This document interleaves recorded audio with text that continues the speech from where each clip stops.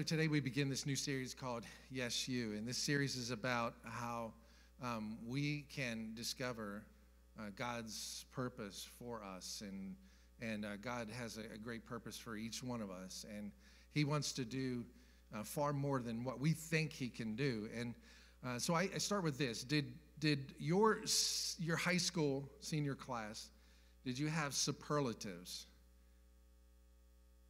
Did anybody win a superlative? Was anybody like a, a superlative?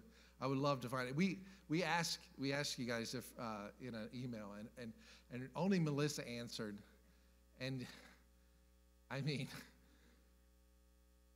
it's still true today. Uh, how many years ago was that? Your three three years three years ago, three years ago, um, and uh, and she's still the most studious person here, uh, right?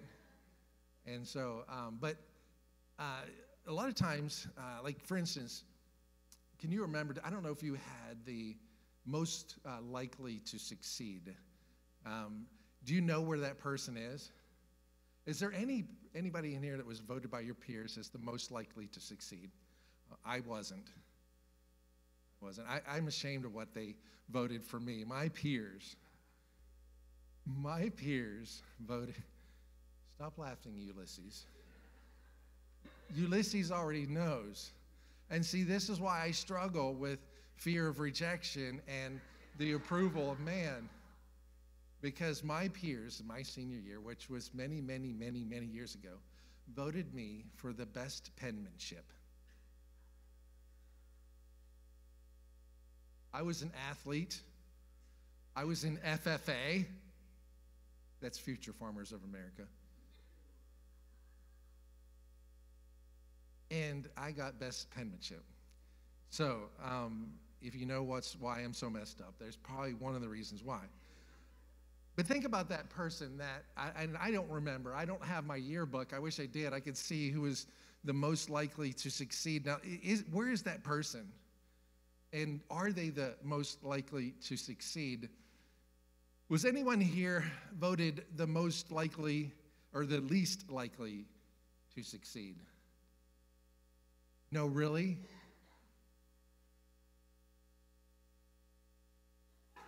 It explains it. It explains it. How about uh, the most likely to spend time in jail?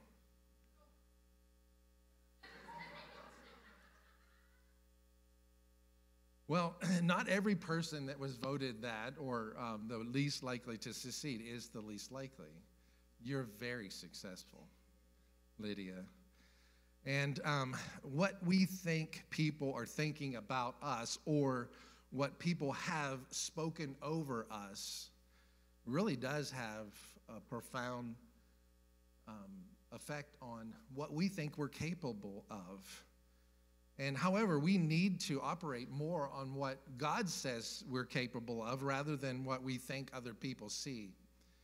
And so we cannot live by what others expect, rather, but on what God expects of us. Um, we're studying one of the uh, most well known stories in the Old Testament today. It's 1 Samuel uh, 17, and it tells us this familiar story of David fighting Goliath. And I'm going to take maybe a little different perspective on this story this morning. Um, it's a narrative, and I love uh, reading narratives and preaching from narratives. And David overcame many things that potentially could have stopped him, what God had already designed long before he was born that he would do. And David had this yes, God can view of God and himself. Um, he, David ultimately knew, knew his God given potential And perhaps he thought, why not me? Why not? Why not me? So, what are the things that are in your life, in our lives, that potentially keep us from living a, this God given potential life? David had several things working against him that he did not allow to stop him, and I want to look at these just five things um, out of this story. I mean, we don't have time to really go through this uh, like in, in the time period that we have. But let's start in verse 3, 1 Samuel 3, or uh, 17, verse 3. It says, And the Philistines stood on the mountain on the one side, and Israel stood in the mountain on the other side, with the valley between them. And there came out of from the uh, camp of the Philistines a champion named Goliath of Gath, whose height was six cubits and a span. He had a helmet of bronze on his head, and he was armed with a coat of mail. And the weight of the coat was 5,000 shekels of bronze. And he had bronze armor on his legs and a javelin of bronze, of bronze sling uh, slung up between his shoulders. And the shaft of his spear was like a weaver's beam and his spear's head weighed 600 shekels of iron. And his shield bearer went before him. All right, so allow me to stop here, and I want to give us our first point from this and take a time to just give us a little bit of context about this. This battle meant a lot both to Israel and the Philistines. There was a lot to lose. Uh, this battle would actually cut Israel's territory in about half. So it meant a lot. It meant a lot to the Philistines and what they could gain, and it meant a lot to the Israel what they would lose. This battle was real. And the potential for the enemy to gain was huge. This battle can be seen as many battles in our own lives where the enemy is trying to take back the territory that God has taken from him through our salvation and through discipleship, us knowing and obeying Christ on a regular basis. And uh, we can be paralyzed by just even the giant in front of us. And the potential to lose can be very great in our own lives. And I'm not saying that you can lose your salvation. Don't get that idea. Because if you truly have accepted Christ by faith, through grace, then you are saved. Nothing can take that. Nothing can take you out of Christ's hands. But you can, and we can, lose our salvation. Uh, I mean, our joy of our salvation. And so, there's a lot at stake in these battles, especially the giant that stands from, in front of us. And that's the first point. What are the things in our lives that potentially keep us from living up to God's given potential. The giant standing in front of us. What are the giants standing in front of you this morning? David had Goliath. What, is, what are your giants? Maybe it's the sin struggle that's, that's beating you up right now. Maybe it's a medical diagnosis that you received recently or a, a medical diagnosis of a friend or a family member. Perhaps it's your employment situation. Maybe it's your finances. Morgan mentioned about tithing. And that giant is I to give 10%. That's huge. Or maybe it's a toxic person. Maybe that's in your family, maybe that's at work, maybe that's in your community. Maybe it's a prodigal child. You know, there's a prodigal child, I believe, almost in every single family, if not every single family. We know someone that's not where they could be. And then maybe it's some lies of the enemy that you constantly are hearing. Goliath is described as this unbeatable enemy standing in front, taunting the army of God. There's no hope in the army's eyes, in Saul's, their leaders. There's no hope for this turning out for the good. Is that what your giant looks like? Do you have any hope against this giant? We, uh, have you ever watched uh, a butterfly break out of a cocoon? I have to admit, it's been many, many years. Um, but as a kid, I used to watch a cocoon um, and how this butterfly would eventually emerge from the cocoon. And it takes, it's a process, it takes time. It starts with a tiny little hole that this butterfly makes, and, and then eventually, over time, this struggle leads that the cocoon falls off. Well, there was a man who decided that he saw this struggle and he wanted to help this butterfly get out of this cocoon much quicker. Why should it struggle?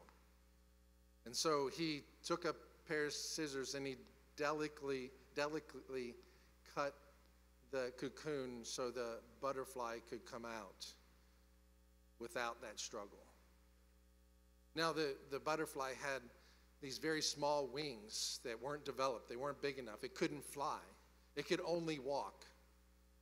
And he thought that over time that these, these wings of this butterfly would grow and get stronger and he would be able to fly. But that's not what happened. In fact, the butterfly died. And the reason why is because it needed that cocoon, that tight cocoon on its body to struggle, to, to, to strengthen its wings, to help its wings grow to the size in which it would be able to fly and live. But it didn't get that chance. If we ever doubt why God would allow one or more giants in our lives, remember the butterfly. God allows our giants, allows us to struggle with our giants, to build us up in faith in Christ. Let's go on with the story. Verse 8 it says, He stood and he shouted to the ranks of Israel. This is Goliath. He said, Why have you come out to draw up for battle? Am I not a Philistine? And are you not servants of Saul? Choose a man for yourselves and let him come down to me. Okay, so we're going to stop here for another minute or two. And here's another potential obstacle that could limit our God given potential in our lives, and it's believing lies about who we are rather than the truth about who we are. Now, this is a subtle one, and you may have even missed it because I know I did. It isn't a huge lie, but it's enough error to mess with a servant of God's heart every time. Goliath wrongly describes the army of Israel as Saul's servants. Now, this was partially true, but it was still error nonetheless for many years before this time in the book of Joshua, if you just go back a few books in the Bible, you'll see that Moses, talking about, he had already died, but talking about him, and, and Joshua, were just, where they were described as servants of God. And we look at Joshua chapter 1, verses 1 through 3, and it says, After the death of Moses, the servant of the Lord the Lord said to Joshua, the son of Nun, Moses' assistant, Moses, my servant, is dead. Now therefore arise, go over this Jordan, you and all your people, into the land that I am giving to them, to the people of Israel. Every place that the sole of your foot will tread upon, I have given to you, just as I promised to Moses. This uh, Saul's and God's army was in a very bad place. They had lost their true identity and who they were, and they were, they were feeding off of what Goliath said about them.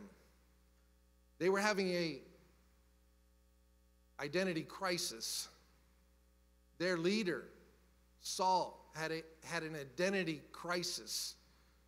He wasn't believing uh, who he really truly was. He forgot that that land was given to them by the authority of God. The territory they were about to lose or had potentially to lose, was theirs. It was given to them by God. Several times throughout this book of Joshua, Moses and Joshua are described as the servants of God. Somewhere along the line, they, these, these men in this army, they started to believe that they were servants of Saul's, of a mere man. And they acted like it. They stood there in fear. We can easily lose sight of our identity in Christ by the way the world and the people around us like to label us. And we can't we can't accept that. We must reject those labels. We have been seeing a lot of political ads recently. I mean, uh, it's election day in a couple days. I don't know, have you voted yet? We got to vote on Friday early because we're going out of town. But we've seen all these political ads. And they use tactics to scare people. They label pro life candidates as reckless and dangerous to society. Have you seen these commercials? So, if you're pro life, to some people, you're reckless and a danger to society. Don't accept that. These tactics are actually reckless and dangerous. And eh, CNN put out an article, CNN of all places, put out an article about how this is misleading because some of the candidates they included that they used this against actually it wasn't even true about them. But we cannot believe errors that people speak about us or label us or allow the world to label us and allow that to sway us. What God has established of what is good and what is evil. Let God be true and every man a liar, is what the Bible says. We cannot believe these errors nor allow them to affect us. So let's go on in this passage, verse 9. It says, He, if he is able, Goliath speaking still, if he is able to fight with me and kill me, then we will be your servants. But if I prevail against him and kill him, then you shall be our servants and serve us. And the Philistines said, I defy the ranks of Israel this day. Give me a man that we may fight together. Then Saul and all Israel heard these words of the Philistine. They were dismayed and greatly afraid. So here's the next one. We stop here and we see that here's the third instance that if we allow it, it could it could stop us from living uh, the, the God-given potential that, that we have. And it is fear, fearing for our well being rather than trusting Almighty God. Saul was an impressive man. Saul was, it's described in the Bible, he was a foot taller than every other man there was in, around him. He looked like a strong leader on the outside, but on the inside, he was very weak. He feared, and therefore his army feared. He was insecure and he was prideful. He really was not concerned about this giant defying his God. He was only concerned about his own safety, his own life. God had equipped him to be a leader in this moment, but he was failing. Sure, Saul was smaller than Goliath by some, However, Mark Twain said, It is not the size of the dog in a fight, but the size of the fight in the dog. I know that's not scripture, but that is true. The biggest man doesn't always win. Actually, the biggest man has the potential to fall the hardest. Saul had the force of the Almighty God at his beck and prayer, but he chose to live pridefully, independently from God, and in fear of his enemy. Psalm 91 1. Great passage. He who dwells in the shelter of the Most High will abide in the shadow of the Almighty. I love this passage because it says that we only need God's shadow for Him, for us to be protected. Revelation chapter 4, verse 8, there's a scene in heaven. And these angelic beings, one day we'll see them. I can't wait for that day. They are praising God. And in verse 8, it says, In the four living creatures, each of them with six wings and are, are full of eyes all around and within the day and, and day and night, they never cease to say, Holy, holy, holy is the Lord God Almighty, who was and is and is to come. he is almighty right now. He was in the past, he is now, and he always will be. We have nothing to fear. It's who we are. Well, the fighting, uh, fighting these battles in our lives, uh, it will, in our own strength, it will end in defeat and fear. So we can't fight them. The next part of this story describes David how he is the, mo- or the least likely to succeed. Um, he and his family, he's not chosen. In fact, whenever, uh, if you go back a chapter before this, when they're trying to, uh, Samuel is trying to pick the next king because God told him to go to Jesse and pick one from one of his sons. Jesse lines all of his sons up but one. He says, Not you, not you, not you, not you. They were never, none of them were chosen. He said, Where, Where's the rest of your sons? Well, there's just David. He's out in the field, he's keeping the sheep. Well, bring him in. God said, Yes, you. Yes, you will lead my nation. And this is one of the things. He was the least likely to succeed, but yet he was chosen to do a great pers- uh, purpose for God. And you may feel like that. You may feel like one of the least likely to succeed in your life, but it doesn't matter. It doesn't matter what you may think. It may not think, it, may, it doesn't matter what other people have labeled you. It only matters what God says. Well, Jesse told David uh, to go to the battle, to take some food to his brothers and to, and to check up on them, to bring back a report about his brothers, how well it goes with them. And so let's read on in this passage. And it says, And David left the things in charge of the keeper of the baggage. And he ran to the ranks and he went and he greeted his brothers. As he talked with them, behold, the champion, the Philistine of Gath, Goliath by name, came out up out of the ranks of the Philistines, and he spoke the same words as before. And David heard them. All the men of Israel, when they saw the man, fled from him and were much afraid.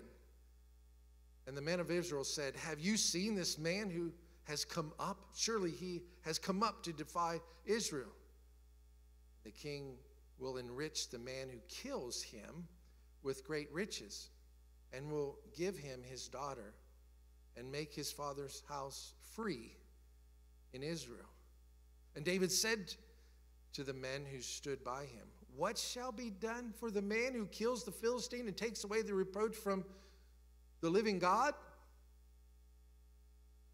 Or from Israel? For who is this uncircumcised Philistine that he should defy the armies of the living God? And the people answered him in the same way So shall it be done to the man who, who kills him. Now Eliab, his eldest brother, heard when he spoke to the men. And Eliab's anger was kindled against David, and he said, Why have you come down? And with whom have you left those few sheep in the wilderness? I know your presumption and the evil of your heart, for you have come down to see the battle. Eliab, uh, David's brother, was the first to speak negative words over David. And Saul spoke also spoke neg- negative words over David as well. In verse 33, let me just look at this passage. And Saul said to David, You're not able to go against this Philistine to fight with him, for you are but a youth. And he was, and he has been a man of war from his youth. So here's the next potential obstacle that could limit God's potential in our lives. And it's accepting the negative words spoken over us. Both Eliab and Saul told him that uh, he was not fit for the job. Eliab's words assumed that worst of David, and he wrongly interpreted the motive of David's heart. Saul just looked down on David. He was a kid to him, and he was not able to, to fight. Remember the sequencing of this event. This is verse, this is chapter 17 and chapter 16. You see that Samuel anointed David as king, as the next king. And we also see that David was already in the service of Saul. Every time an evil spirit came over Saul, David would play the harp. Saul was well aware of what who David was, what Samuel had done, and his capability of how he was a prophet in his household. He was already serving the king. But it didn't stop this situation of him speaking uh, wrong words over him. And I won't wrongly interpret the motive of Saul's heart, but he had reason for him, for David to go out there and lose, and he had reason for him not to go out there and win. See, if David succeeded against Goliath, then it would diminish Saul's leadership, his kingship. David would be able to do something that he was not able to do. If David gets killed in the battle, it eliminates one threat for Saul, and this next king is eliminated. Maybe he can remain the king longer than what, thought, what was thought. I don't know Saul's motive here, but I can see that David did at least two things that we need to do whenever people speak words that aren't true over us. The first one is David ignored toxic thinking. It says in verse 29 and 30, and David said, this, is this is kind of subtle, but you can see it. David said, what have, what have I done? He's answering his brother Eliab, who just said, well, I know you're down here just to see the battle. He says, What have I done now? Was it not but a word? And he turned away from him. He turned away from Eliab, Eliab and toward another, and he spoke in the same way. And the people answered him again. It's like he just ignored him. David knew his oldest brother's words did not fit him, so he ignored it. He was sent by the authority of his father to do what he was doing. And then Saul enters into this equation when he, he is told by others that David is there having these conversations with his army, with his soldiers. And so Saul sends for David to come and talk to him. And David's words to Saul said, Let no man's heart fail because of him, because of Goliath. Your servant will go and fight with this Philistine. And this is when Saul shuts David down with these negative words. You can't do that. Have you ever heard that? You thought of something that needs done for the glory of God, but you're told there's something in your mind that says you can't do that. You don't you don't belong on this team. Your past disqualifies you. Your struggle is too big. But David didn't do that. In fact, uh, it says in verse in, in the next uh, part of this, 34 through 37, David replaced those negative words of Saul with his past experiences of God's power. Look at this. Starting in verse 34, David said to Saul, Your servant used to keep sheep for his father. And when there came a lion or a bear and took a lamb from the flock, I went after him and struck him and delivered it out of his hand, out of his mouth. And if he arose against me, I caught him by his beard and struck him and killed him. Your servant has struck down both lions and bears, and this uncircumcised Philistine shall be like one of them, for he has defied the armies of the living God. Now, if you think that he's just bragging, let's read this next passage. And David said, The Lord who delivered me from the paw of the lion and the paw of the bear, he delivered me from the hand, will deliver me from the hand of this Philistine. Saul said to David, Go, and the Lord be with you.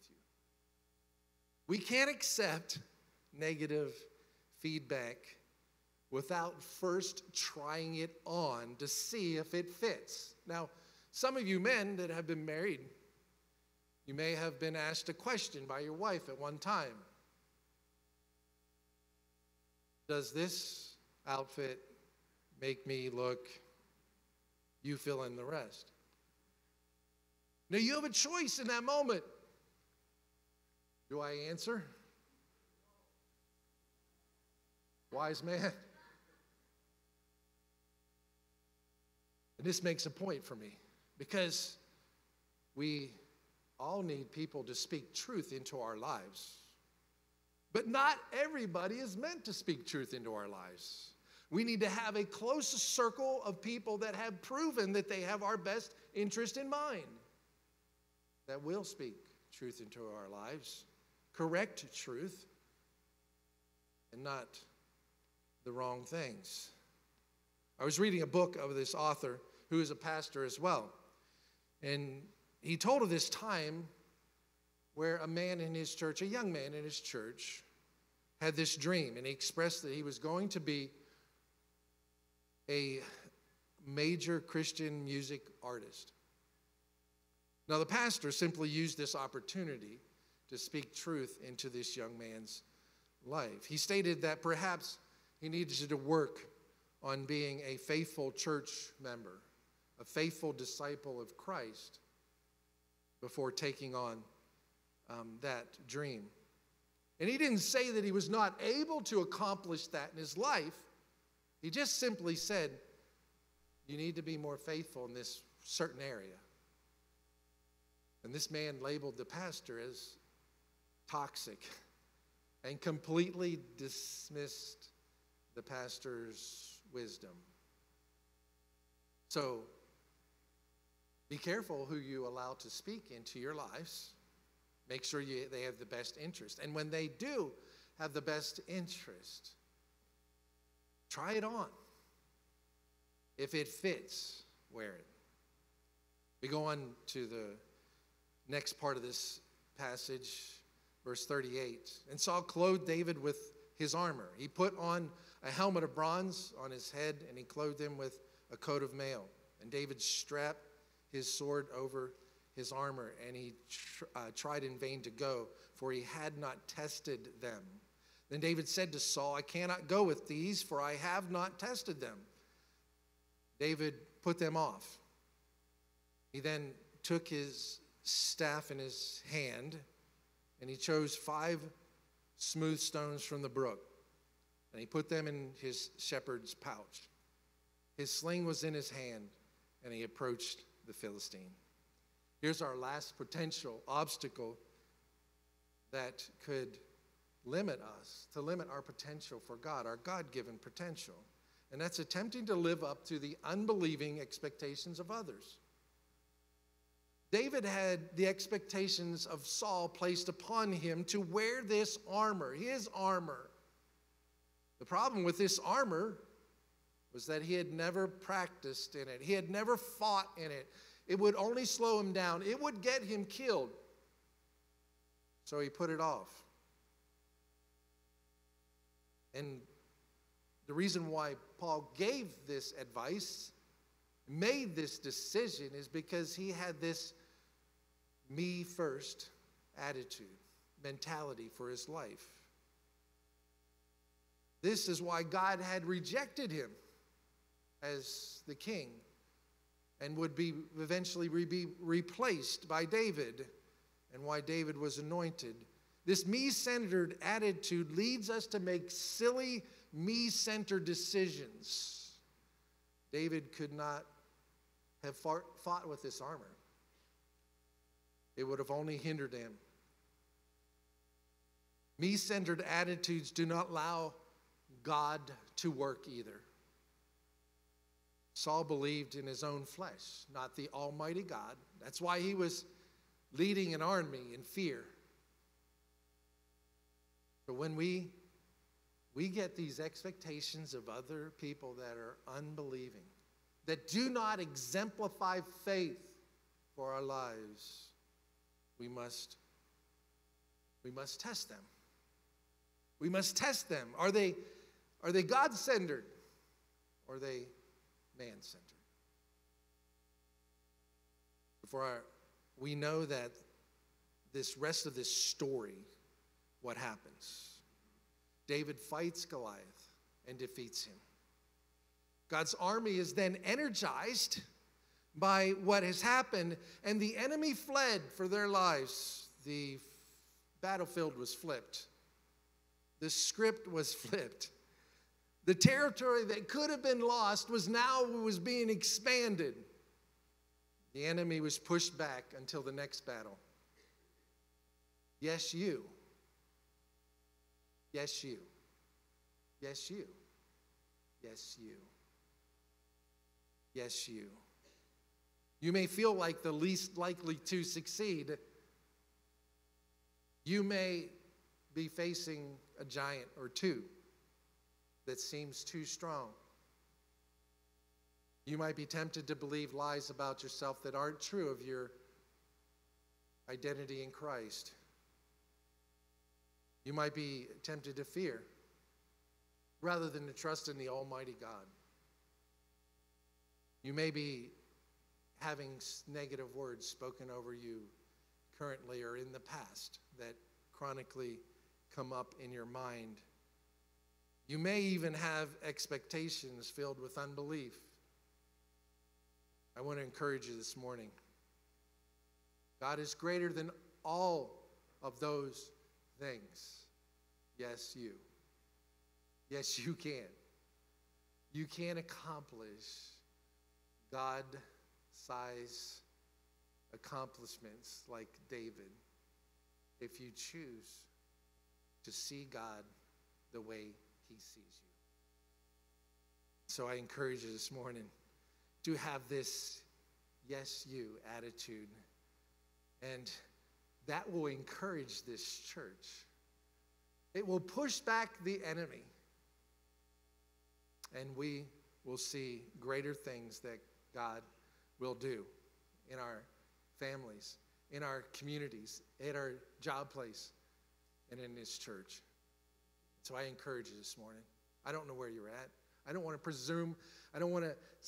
I don't want to try to read your heart because I can't. Only God can do that. But where you are is important because God knows exactly where you are, and He wants to move you to a greater faith in Him.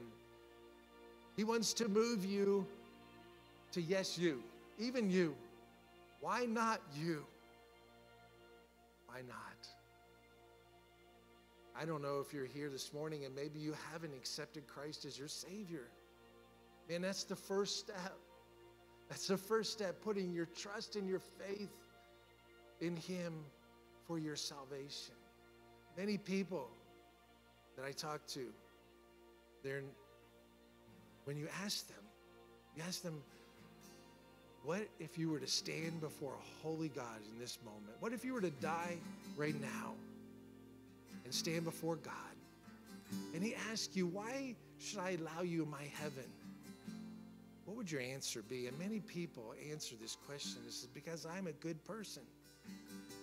I've, I've not done anything that's really bad. That was my answer. I can remember as a teenager, my mom talking to me about the Lord. I said, Mom, I haven't killed anybody. I'm not hurting people. That's the answer. I said, I was saying, I'm not a bad person. But what I needed was I needed to place my faith and trust because the Bible says that we're all sinners and we can't save ourselves. We're all sinners and we fall short of the glory of God. And, he's, and the Bible says that the wages of those sin is death. I mean, what we deserve from our sin.